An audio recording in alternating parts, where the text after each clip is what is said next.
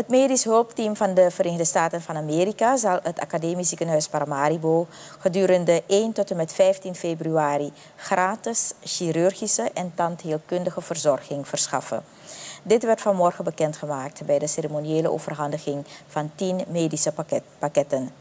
Deze schenking is volgens Gentry Mobley, medisch officier, bestemd voor zowel het AZP-ziekenhuis als het ministerie van Volksgezondheid.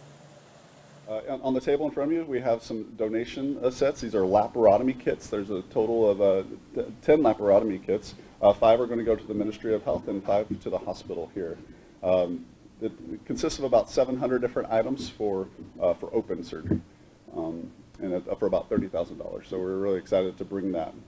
As well as we had, uh, we were borrowing some of your warehouse space. Uh, we have uh, seven large containers down there full of equipment uh, that once we're done with our operations, those will be staying here in country um, for your, your future use. I know supplies and staffing has, been the biggest concern for uh, across the, the, the, world, but definitely hitting you hard. So we're excited to be here.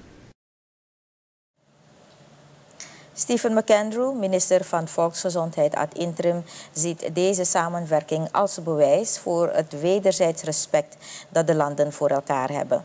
Daarom is het volgens de bewindsman belangrijk deze intensieve missie niet te onderschatten. We are very glad that today can mark a further step in our cooperation as two sovereign nations in a particular field, namely the medical field. As was mentioned, um, the U.S. and uh, Suriname has have a long-standing relationship with respect to cooperation.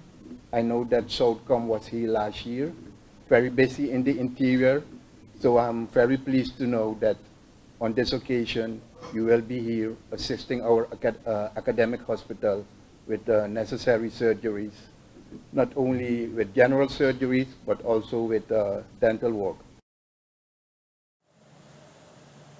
Zowel de bewindsman als de medische officier kunnen zich terugvinden in het feit dat deze geste een stap is voor meer medische samenwerkingen.